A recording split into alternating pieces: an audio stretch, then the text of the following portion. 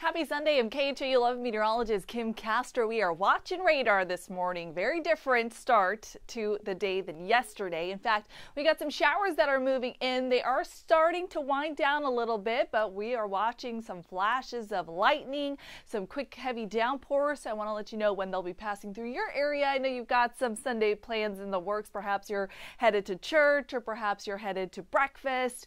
Those brunch plans, I'll get you ready for them, okay? So by around 9:30ish, we'll start to see these storms pushing into spring. 10 minutes before that, they'll get to Richmond, downtown area. I think right before the 10 o'clock hour, you'll start to see some of these yellows and oranges, some quick heavy downpours before they move off towards the east. These storms are moving at around 30 miles an hour, so they'll be quick to get in here and quick to move out of the way too, so we can at least enjoy a more dry Sunday, though it is going to stay cloudy throughout the day. And we are watching some storms to continue to the south. Friendswood by around 1030. Right now, Katy area, you are getting some moderate to heavy downpours. You're seeing some flashes of lightning there, so you're definitely hearing that rumble of thunder. Addicks, you're starting to see some shower activity more on the lighter side further to the north. That's the heavier downpour into Cypress. Jersey Village, you'll be next. Mission Bend, you're starting to see some of that heavier rain get to your area as well. Pecan Grove, you're kind of dodging some of the heavier stuff. It's to the north of you right now to the southwest, but definitely along uh, 99 and Loop in the Beltway, you'll start to see some of that heavier activity too. Right now, Northwest Freeway towards Spring Cypress Road, you got a little cluster of some heavier rain, so definitely make sure you've got those windshield wipers going as you head over to church this morning. Tomball to Oklahoma, you're starting to see some of the heavier rain. The woodlands seeing some shower activity too. Let's go a little bit further north, North Freeway to New Waverly. You're seeing either some light to moderate and heavier rain as you head a little bit further towards the east, uh, and that's going to continue just for the next couple of hours. As you can tell, behind it, we're not filling back in that shower activity. It's just going to move through a sweeping motion and then get out of the way by around 11 o'clock this morning for all of us, for our Liberty County. Number of strikes over the last 10 minutes. It's not a hugely charged area of storms, but you'll notice not the case to the further southwest. And I'll talk about that in a moment. But the majority of the showers that are passing through the area, yes, you will see the flashes of lightning, but not consistently. Certainly not like what we saw with that last uh, storm event there. 200 strikes of the last 10 minutes. And I'll take a moment to tell you the differentiation between negative and positive strikes. Positive strikes come from the top of the cloud, negative strikes come from the bottom. And so, by nature, because these positive ones travel a longer distance, they have more intensity. They're actually 10 times stronger than the negative ones. And the reason we like to keep track of the count is because if we see more positive strikes, then we know the storm's getting some intensity. Right now, we're seeing more negative strikes, and that's a good sign, and it reflects that on radar. You're starting to see the storms had a little bit more strength when they started to move in, and now they're starting to taper just a little bit. Mm, but you know, we'll have to watch that consistently over the next few minutes because while they simmer down, they pick up the pace just a little bit, but it's a pretty thin line that we're watching right now.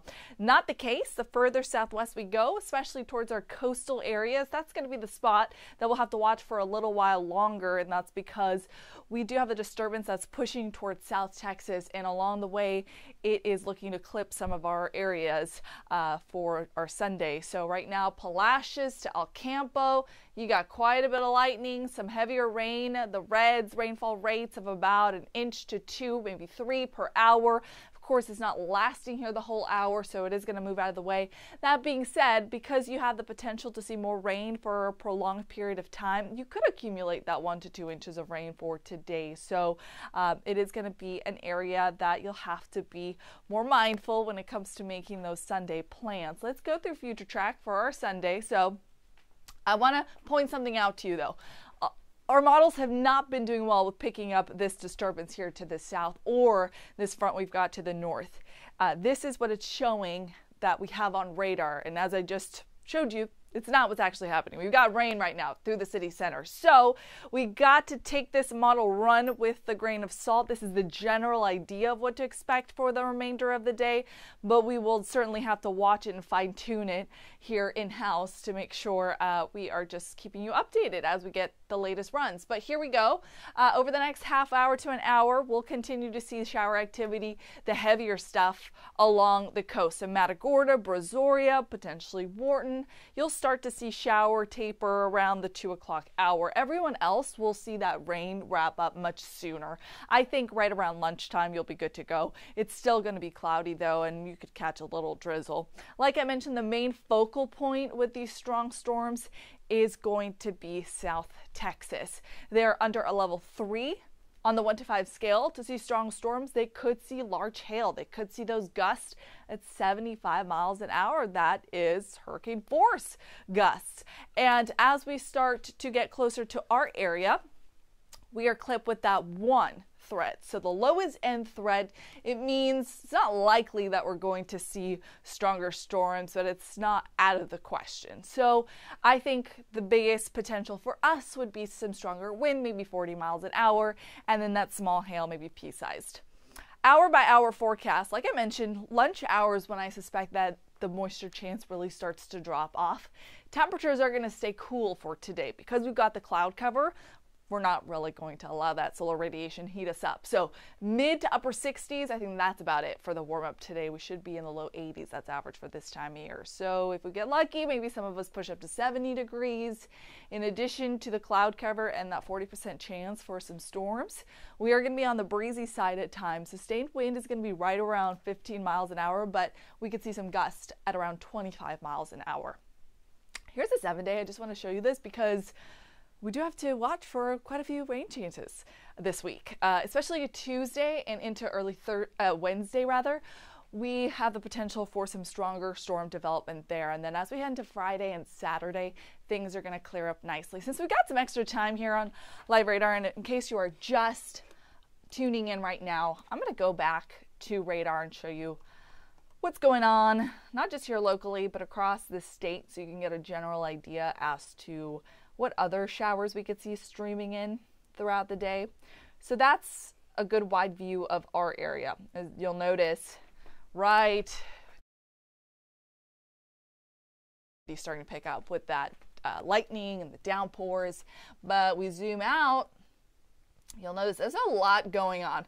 First and foremost, nice electrified area there for uh, central South Texas, pushing into Corpus Christi area here soon.